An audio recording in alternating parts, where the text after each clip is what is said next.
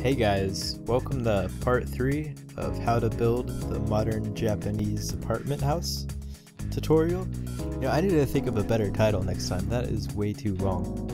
Anyways, uh, we're just going to start by decorating the outside of the house, and then we're going to decorate the inside of the house. And so for the outside of the house, I'm grabbing some flowers, uh, flower pot, bushes, lily pads for the pond, glowstone so we can light it up, and I just start off by adding, uh, uh, bringing these bushes up, making them look kind of overgrown.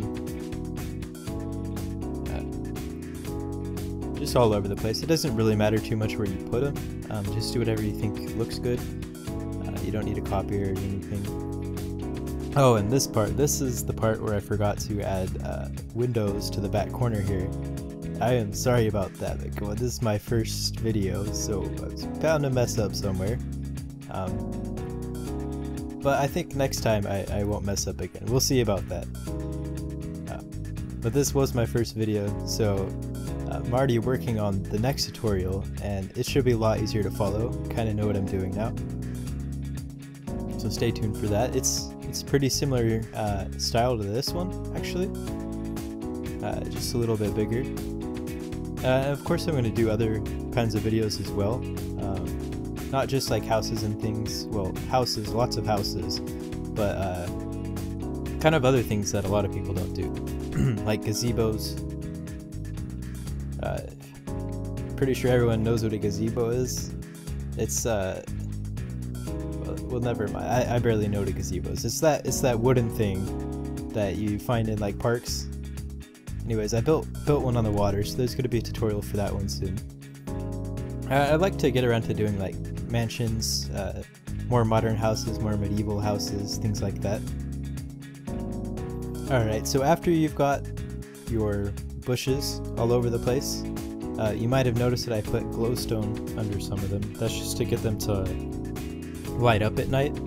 Um, that's kind of a, light, a thing I like to do with a lot of my builds. I'll put like hide glowstone underneath bushes or, hide them inside of trees just because it creates a really nice glowing effect at night. Like it doesn't, obviously doesn't do anything during the day, but at night it's it's a pretty cool effect you can get going. Uh, I added those pillars to the corner corners of the house. Um, try to balance out the build a little bit more. And then I just put this uh, sidewalk up front with uh, stone slabs.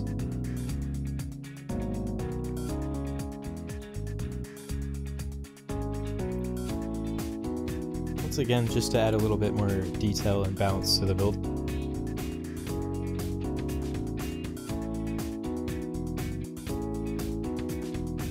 Hey, can you believe these sheep? You know, I, I think I'm going to turn the volume off on this part because the sheep just won't shut up. they just keep going. You know, that's the one thing about Minecraft I wish they had an option for is please let me turn off animals, or at least animal volume. I don't want to hear them all the time. And plus they, they walk all over the place. When you're trying to build stuff, they'll just like jump in your way. So you end up hitting them and then you feel bad, even though it's a video game animal. So what I'm doing here is I'm placing these signs next to the door, and you might be thinking, you know, what the heck, why would you put signs there? Like, they look really weird, but I actually think they kind of look good. Like, they don't really look like signs if you don't write anything on them. So it's kind of like a little bit of extra detail. Like, adds a little bit more uh, dimension.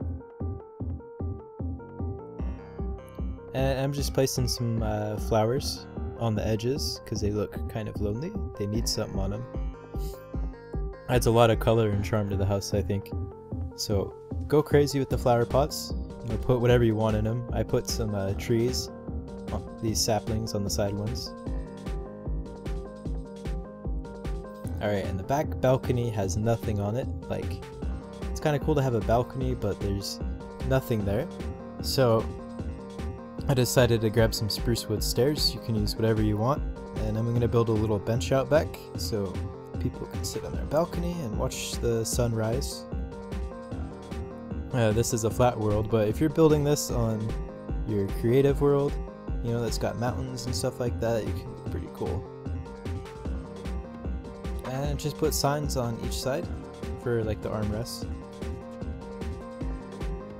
Alright, looking pretty good.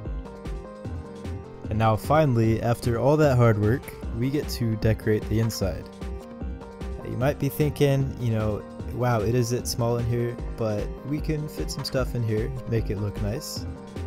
So I'm just throwing some bookshelves up in a kind of a, a weird pattern. I put down the bed, um, and I'm just gonna start putting paintings all over the walls. Yeah, sometimes it takes a while. Okay, we'll take the creeper painting. Uh, put a little chair here so you sit down and read books. I mean, obviously the person who, who lives here likes books. And gotta fit a chest in there. And then we're gonna put in some carpet. There we go. Alright. Uh, some item frames, you know, photos of the family. Um, everybody in this guy's family looks like Steve, so that works. Uh, we'll try to get another painting up here.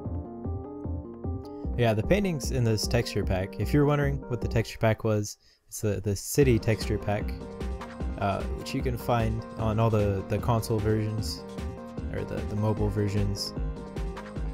But I'm pretty sure you can also find it on like uh, Planet Minecraft or something. I'll go ahead and look that up, uh, put it in the description box, because I'm pretty sure they have it for PC as well.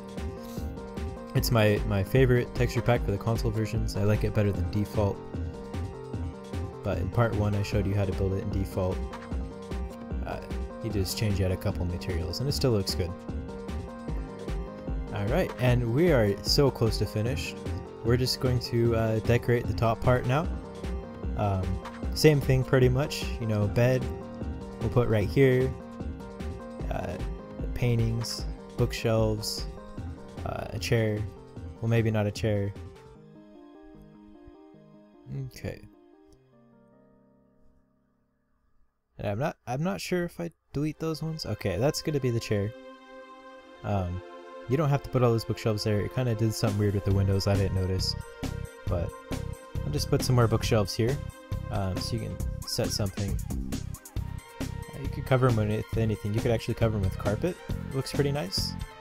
Um, it doesn't look like carpet if it's on top or something. It just kind of looks like a, a, a finish, like a tabletop finish.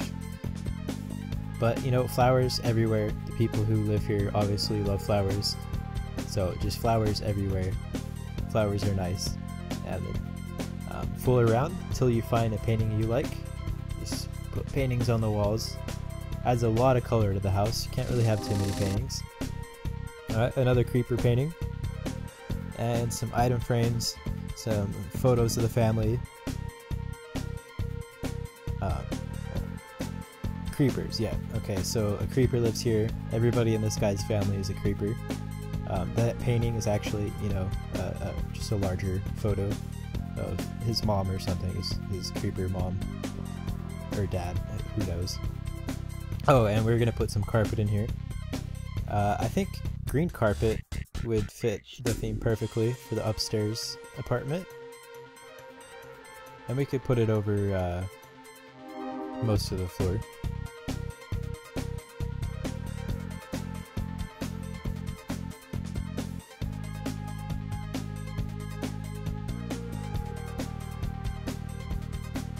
And voila, just like that. It's nice in here. And that's a pretty nice view. There's the sunrise we got going. And that's pretty much all there is to it. I mean, you can decorate it however you want. Um, if you don't like the way I decorated it, I mean, I hope you did. But if you didn't, you know, just change it however you like, you know, to fit your texture pack, or if you use the same texture pack. Um, oh yeah, so I'm just gonna put like this lever here above the pond because it looks like a faucet. Yeah, just like that. It's the little touches that count, I think. And after all that hard work, I think it's time to get some rest.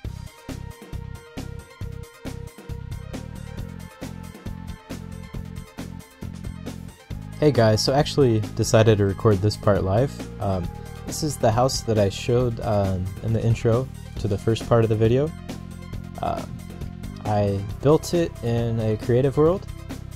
Um, I think it looks a lot better in a creative world than it would, say, like in a flat world. And I just planted all these trees around the house. And uh, I added like this little walkway with like the cobblestone wall so you have like a yard.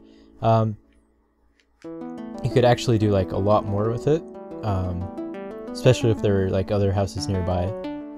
Um, I also put um, glowstone in some of the trees, like you can barely see it if you look through. So it goes at night, so I'll show you guys what it looks like at night too. So this is what it looks like at night. This is what I was talking about. You see how the trees are glowing, the, pond is glowing. Um, I don't think I put any glowstone under these bushes, but if I did, they would glow too. Um, you can kind of see them, but not really. Um, that bothers you, you could just put more leaves in front of them, you wouldn't be able to see them at all. And that's about it. I just wanted to showcase uh, the house for you guys one more time. That's it guys, I hope you enjoyed the video. Uh, it took a bit more work than I actually thought it would, but uh, it was totally worth it. I had a lot of fun and I'm looking forward to the next project.